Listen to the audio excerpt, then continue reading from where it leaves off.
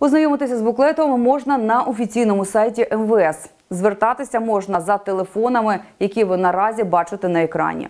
Не ігноруйте попередження саперів. На Чернігівщині триває розмінування територій, на яких побував ворог. По собі агресор залишив багато небезпечних сюрпризів протитанкових, протипіхотних мін, розтяжок та ручних гранат. У ДСНС суворо застерігають не ігнорувати попередження саперів, які одразу інформують місцеві органи влади про виявлення вибухонебезпечних предметів та проведення розмінувальних робіт у даному районі. Знайдені на даний час дві протитанкові міни ТМ-62М. Не дивлячись на те, що ми виставляємо свої таблички небезпечно міни, вони їх ігнорують і все одно хочуть добратися до якоїсь певної дислокації. Бувають різні підриви, потрапляють на розтяжки. Рятувальники також просять не відвідувати лісів та лісосмуг, де ймовірно розташовувався ворог, та не збирати там цьогоріч гриби. Люди поїхали по гриби, і машина наїхала на протитанкову міну, підірвалась і чотири